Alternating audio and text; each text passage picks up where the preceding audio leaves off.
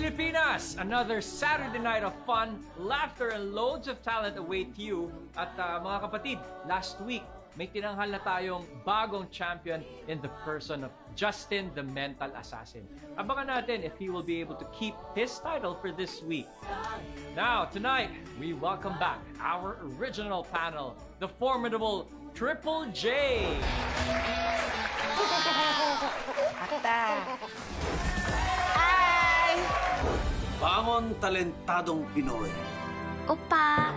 Mga kapatid, tandaan, pwede mag-leave room at anytime ang mga scouts. So tignan natin kung makuha ng mga talentados ang kanilang seal of approval. Tayo mga Pinoy yan ang lagi niyong isipin Lahat ay kaya ngabutin kung ating pipilitin Ikaw ay Pilipinong kaya magtagumpay Kung ikaw ay Pilipinong itaas ang kamay So, if hindi kayo marunong mag-solve ng Rubik's Cube, okay, yung gagawin niyo lang, yes, gawin niyo siyang chocolates.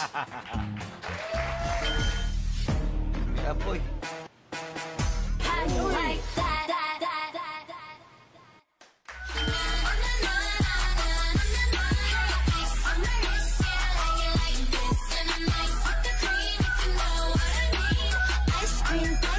Ice cream.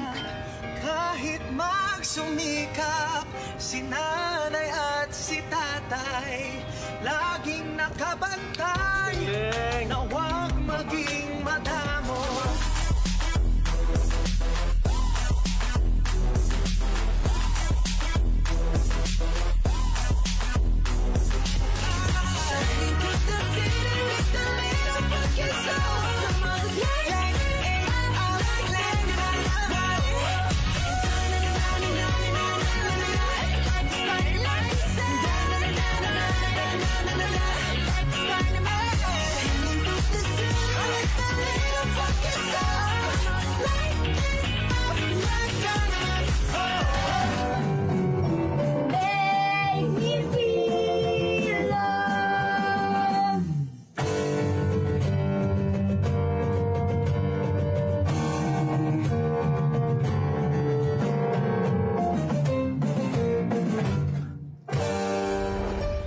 Based on the scores of our talent scouts, here is our top five who will each receive an additional 10,000 pesos each.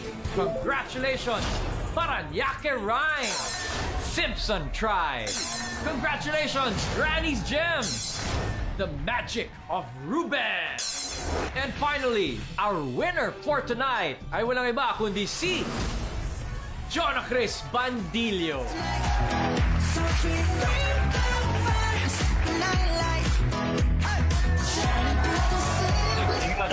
Bandilio.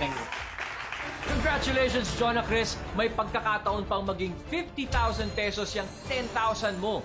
Pero, mangyayari lang yan kung mahigitan mo ang gagawin ng ating defending champion.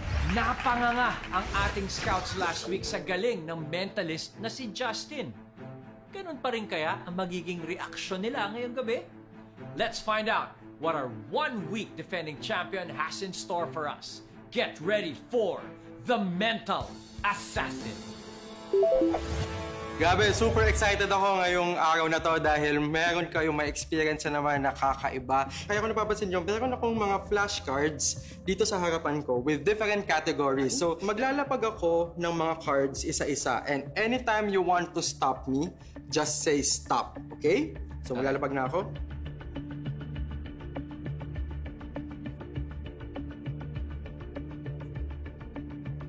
Baka maubos yung cards natin, Jogos, ha? Yan. Ito, okay. Ito ba? Or Ah, hindi. ito? Isa pa. Isang baba pa. Ba? Nice. Anong gusto mo? Itong hawak ko o itong nasa baba? Yung hawak mo.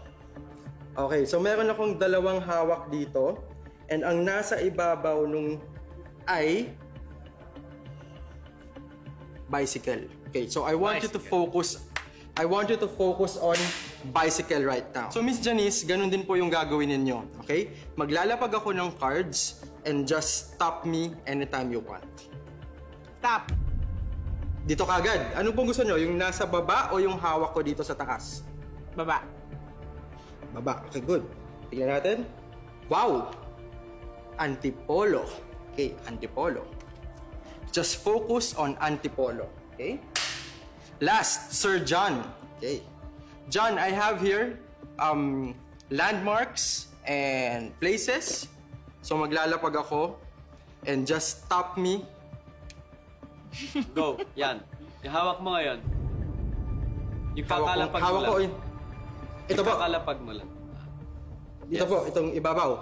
Okay. Ah, kakalapag mo lang. Church. Please focus on church. Okay. Let's start with Joros. Joros, ano ulit yung pinili mo kanina? Ah, car? Hindi lang. Bicycle. Bicycle. Bicycle. Bicycle. Uy!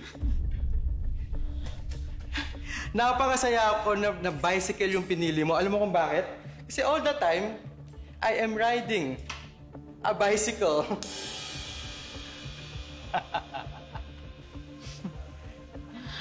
Miss Janice is thinking of a place. Okay, she's thinking of a place. Miss Janine. Janice, I'm sorry. What is the place you're thinking of? Antipolo. Ladies and gentlemen, sobrang saya ko na antipolo yung iniisip ni Miss Janice dahil ang suot ko ay t-shirt na I love antipolo. Thank you very, very much. Now, one last thing. Meron pa tayong hindi nare-reveal. Okay, Sir John, meron siyang iniisip na lugar. And Sir John, what is the place you are thinking of? Church. Church! Napakasaya ko din, Sir John, na church, the church ang pinili mo. You know why? Dapat yun talaga yung piliin mo. Because all the time, I am here at Birhen ng Antipolo City. Welcome to the city of Antipolo, ladies and gentlemen. Once again, this is Justin Pinion. Enjoy the rest of your day.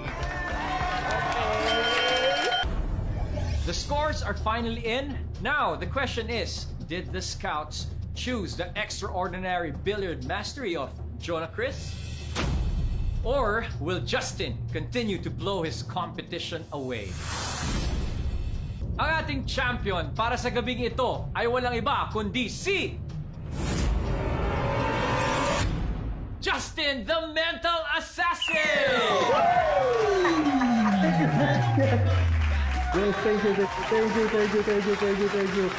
Well, congratulations, Justin. And now you'll be taking home another 50,000 pesos for a two-week total winnings of 100,000 pesos. Nasa sa'yo na yan kung uh, ididiretso mo na kay Mrs. yan. Hindi ka na namin mapoprogram sa bandang yan. we can't wait to see what you will do next week to mesmerize us. So, once again, congrats, Justin. And Talent Scouts, maraming salamat din.